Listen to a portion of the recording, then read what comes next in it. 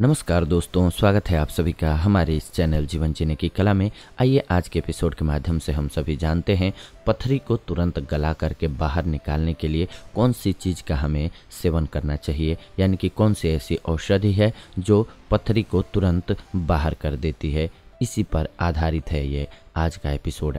आगे बढ़ने से पहले आप सभी से रिक्वेस्ट है कि अगर अब तक आप चैनल को सब्सक्राइब नहीं कर पाए हैं तो कर लीजिए, ताकि ऐसी अन्य नई जानकारी जब भी हम लेकर के आएँ नोटिफिकेशन आप सभी को सबसे पहले मिले और जो लोग चैनल को सब्सक्राइब कर चुके हैं, उनको दिल से धन्यवाद। आइए, अब आगे बढ़ते हैं, जानते हैं पथरी को दूर करने के लिए घरेलू औषधि के बारे में। पथरी एक ऐसी बीमारी है जो रोगी को बेहद असहनीय दर्द देता है। पथरी के रोगी को कई तकलीफों का सामना करना पड़ता है। आजकल के प्रदूषित वातावरण और गलत खान पान के कारण मनुष्य के शरीर में कई बीमारियों ने जन्म ले लिया है। पथरी बनने का मुख्य कारण होता है यूरिक एसिड, फास्फोरस, कैल्शियम और ऑक्जेलिक एसिड के मिलने से होता है। यह किसी भी इंसान को हो सकता है। पथरी दो प्रकार के होते हैं, एक बड़ा और एक छोटा। छोटा वाला पथरी बाहर निकल जाता है, लेकिन बड़ा वाला नहीं निकल पाता है, जिसके कारण से रोगी को बहुत दर्द सहना पड़ता है। आज हम आपको पथरी के तुरंत गला करके बाहर निकालने के उपाय के बारे में बताने जा रहे हैं। पथरी के रोगी को नारियल का पानी हर दिन पीना चाहिए।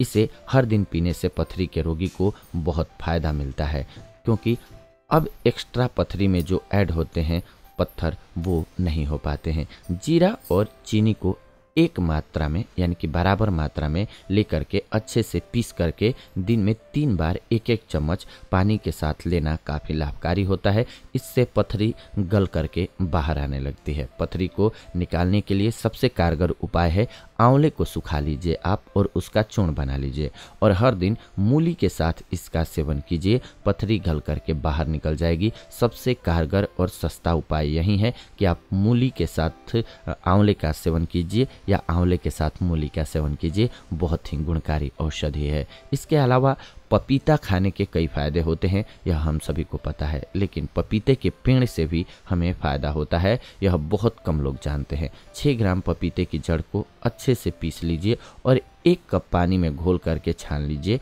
और इसका सेवन कीजिए। पथरी गल करके आपकी जल्दी ही बाहर निकल जाएगी। पथरी को दूर करने के लिए ये बहुत ही कारगर, यानी कि रामबाण औषधि की तरह से कार्य करती है। तो ये आज का एपिसोड रहा आप सभी के लिए, जो कि पत्थरी को दूर करने से रिलेटेड रहा। कैसा लगा ये एपिसोड? आप सभी अपने कमेंट्स के माध्यम से हमें ज़रूर बताएँ। साथ ही साथ आपके मन में कोई सवाल है तो वो भी हमें लिख भेजें, ताकि हम उन टॉपिक्स पर भी आपके लिए वीडियोज़ बनाएँगे। और एक रिक्वेस्ट है आप सभी से, कि वीडियो को लाइक शेयर एंड कमेंट्स अवश्य करें, ताकि अन्य ज़रूरतमंद लोगों तक वीडियो आसानी से पहुँच पाए। और ये आप सभी के लाइक, शेयर एंड कमेंट्स के बाद ही पॉसिबल है। तो कर दीजिए। इसके बाद मिलते हैं आप सभी से नए एपिसोड में नई जानकारी के साथ। तब तक के लिए धन्यवाद। नमस्कार दोस्तों।